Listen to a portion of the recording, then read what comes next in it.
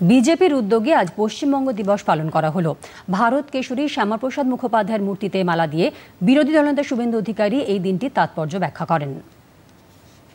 আজকে ভারতবর্ষের সমস্ত রাজভবনে পশ্চিমবঙ্গ দিবস পালন করছেন রাজ্যপালরা আসামেও হচ্ছে, অন্য রাজ্যও হচ্ছে ত্রিপুরায় হচ্ছে, জম্মু কাশ্মীরেও হচ্ছে। এবং ভারতবর্ষের রাষ্ট্রপতি মহোদয়া গত বছর এবছর করেছেন কিনা আমি এখনও চেক করিনি। গত বছর তার সোশ্যাল হ্যান্ডেলে আজকের দিনটাকে পশ্চিমবঙ্গ দিবস বলে ঘোষণা করেছিলেন। ভারতবর্ষের সংবিধানের যিনি প্রধান। এর ফলে আজকের দিনটার ইতিহাস কখনো বদলে দেওয়া যায় না, ভবিষ্যতেও যাবে না। ডক্টর শ্যামাপ্রসাদ মুখার্জি না থাকলে আমরা আজকে ভারতবর্ষে থাকতে পারতাম না।